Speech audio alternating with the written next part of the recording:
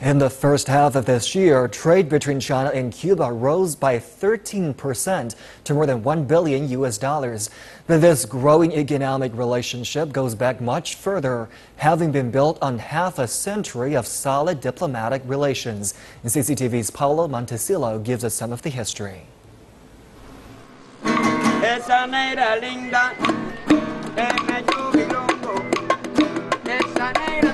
From cigars and rum to palm-fringed beaches and the romance of Ernest Hemingway's The Old Man and the Sea, Cuba means different things to different people.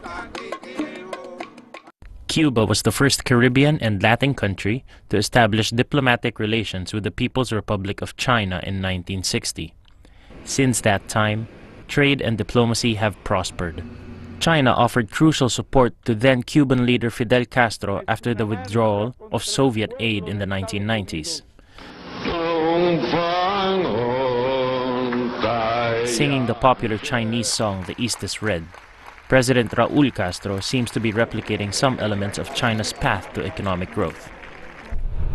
Last year, China became Cuba's second largest trading partner after Venezuela, with more than $2 billion in annual trade.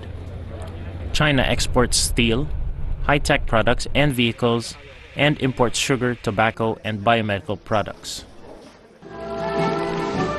President Xi Jinping visited Cuba two years ago and was awarded the Order of Jose Marti, Cuba's highest honor, named after a national hero.